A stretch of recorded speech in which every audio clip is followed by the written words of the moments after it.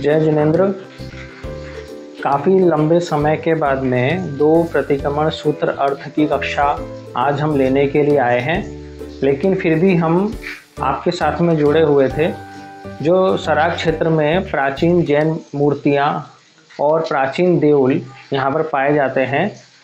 उनका दिग्दर्शन आपको कराना भी बहुत ज़रूरी था, ताकि आपको ये बताना था कि यह क्षेत्र नौवीं दसवीं शताब्दी में जैन धर्म का एक प्रसिद्ध केंद्र रहा था, एक जालो जहाली था इस क्षेत्र में, जहाँ पर सराक जाति का एक बहुत बड़ा प्रभुत्व था और उन्होंने इस स्थान पर अनेक प्रकार के मंदिर बनाए थे और साथ में उन मंदिरों में तीर्थंकर भगवंतों की प्रतिमाओं को प्रतिष्ठित करवाया था। चलिए, आज की कक्षा हम प्रारंभ करते हैं अनर्थ सूत्र से। पिछली कक्षा में हमने तस उत्तरी सूत्र का वर्णन किया था, चिंतन किया था, अध्ययन किया था। उसमें ठामी काउसगम शब्द आया था, यानी हम प्रतिज्ञा करते हैं कि हम काउत्सर्ग करेंगे। अब कायुत, काउत्सर्ग का भी हमने उस समय आपको अर्थ बताया था। कायोत्सर्ग का अर्थ होता है काया का उत्सर्ग कर देना, यानी काया को छोड़ देना। काया को छोड़ने का मतलब है अपने शरीर को मृत प्राय बना देना। लेकिन जीवित रहते हुए अपने शरीर को मृत कैसे बना सकते हैं? जो जब मृत्यु आती है, जब एक मृत शरीर होता है, उसकी ना तो साँसें चलती हैं, ना किसी प्रकार का हलन चलन शरीर में होता है। लेकिन हम जीवित अवस्था में रह करके जब कायोत्सर्ग करते हैं, तब हम अपने शरीर को मृत कैसे बना सकते हैं? तो यहाँ पर शास्त्रों में जो कायोत्सर्ग की जो परिभाषा है, वो काया के प्रति आसक्ति को छोड़ना होता है।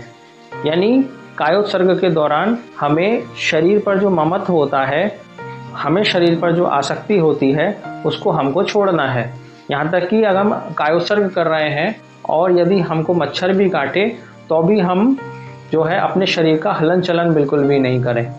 तो अब शरीर में ये शरीर तो जीवित है तो ये जीवित शरीर में कुछ क्रियाएँ भी होती हैं। तो उन क्रियाओं को अपवाद के रूप में इस अन्नथ सूत्र में बताया गया है।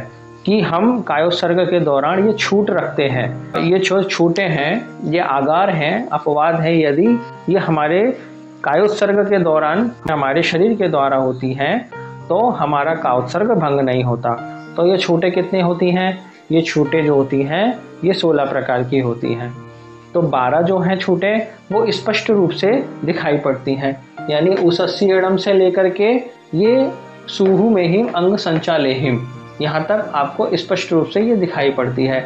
इसके बाद में ए माई एहिम के अंदर जो है चार प्रकार के जो आगार हैं, उनका समावेश किया गया है, जो कि अस्पष्ट रूप से है, जिनकी हम चर्चा इसके अर्थ में आपको बताएँगे। चलिए अब हम अन्नथ सूत्र का प्रथम तीन गाथाओं का शुद्ध रूप से उच्चारण करते हैं।